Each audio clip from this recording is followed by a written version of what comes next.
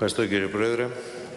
Κυρίες και κύριοι συνάδελφοι, η σημερινή συνεδρίαση υπόθηκε από πολλούς, αλλά όντως έχει ιστορικό χαρακτήρα. Έχουν γίνει αρκετές προσπάθειες διεκδίκησης των γερμανικών επανορθώσεων και του, συνολικού, και του συνόλου του κατοχικού δανείου, που όμως δεν είχαν το επιθυμητό αποτέλεσμα, γιατί ίσως δεν υπήρχε η πολιτική βούληση.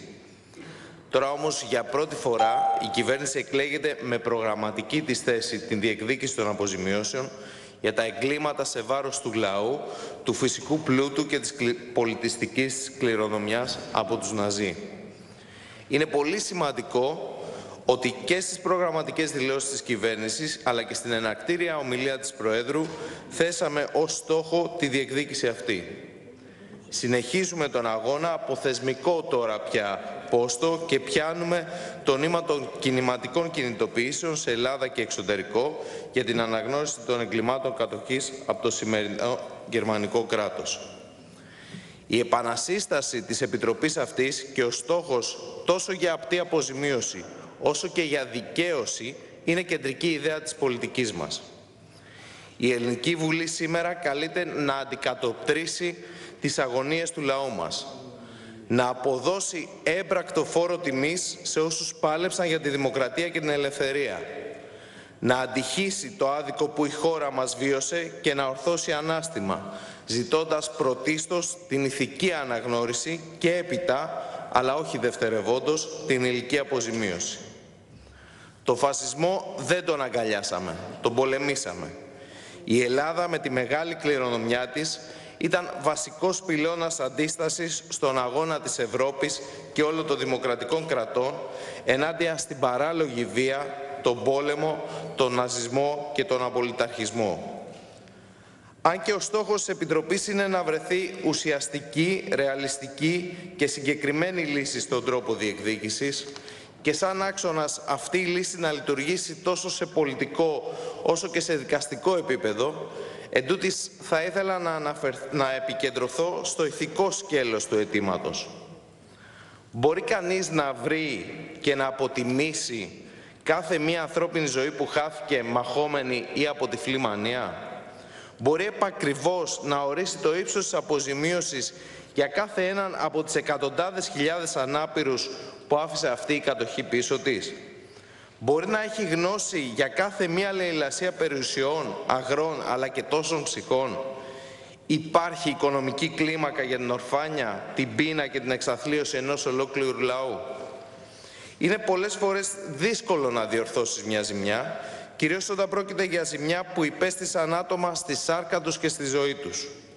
Εμείς όμως πρώτα απ' όλα οφείλουμε να πιέσουμε τη σημερινή γερμανική κυβέρνηση να αναγνωρίσει τα εκατομμύρια θύματα της εθνικής αντίστασης σαν αγωνιστές για την ειρήνη σε όλη την Ευρώπη.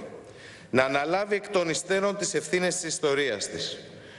Να καταβάλει αυτά τα οποία ζητάμε για να δικαιωθούν οι νεκροί και να νιώσουν οι ζωντανοί ότι κλείνει ο κύκλος της ατέρμονης λαιλασίας για τη χώρα μας. Οικονομικά, πολιτικά και πολιτιστικά είναι τα πεδία που απλώνεται αυτή η διεκδίκηση, αλλά κυρίως ηθικά, για την εθνική συλλογική μας μνήμη και αξιοπρέπεια που βάλετε αιώνες τώρα. Στα Δωδεκάνησα, που στις 7 του Μάρτη πριν από λίγες μέρες γιορτάσαμε την ενσωμάτωσή τους με την Ελλάδα, παρουσία και της Προέδρου της Βουλής, αν και στο μεγαλύτερο διάστημα κατοχής τους ήταν υπό Ιταλική κυριαρχία, εντούτοις κατά την περίοδο 43-45 μετά τη συνθηκολόγηση των Ιταλών πλήρωσαν βαρύ το τίμημα της γερμανικής κατοχής.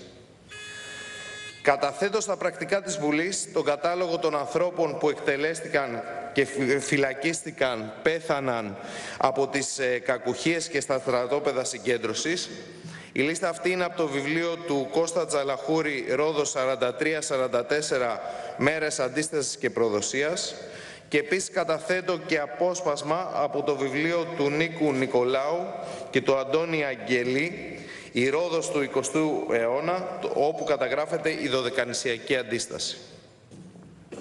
Τέλος, θα ήθελα να τονίσω σε όσους, ε, σε όσους μας κατηγορούν ότι παίζουμε με τα σπίρτα της ιστορίας θέλοντας να ανάψουμε εκ νέου παλιές έχθρες, ότι εμείς είμαστε εκείνη η πολιτική δύναμη που εκφύσεως και θέσεως στεκόμαστε ενάντια στον εχώριο και ξένο φασισμό, που υπερασπιζόμαστε τις μάχες των λαών για ανεξαρτησία, δημοκρατία και ελευθερία και που οι ιδεολογικές μας ρίζες και η πολιτική μας κληρονομιά ξεκινά από την εθνική αντίσταση, τελειώνω κύριε Πρόεδρε, και καταλήγει στις μεγάλες διεθνείς διαδηλώσεις για την υπεράσπιση του δικαιώματος για εργασία και αξιοπρέπεια.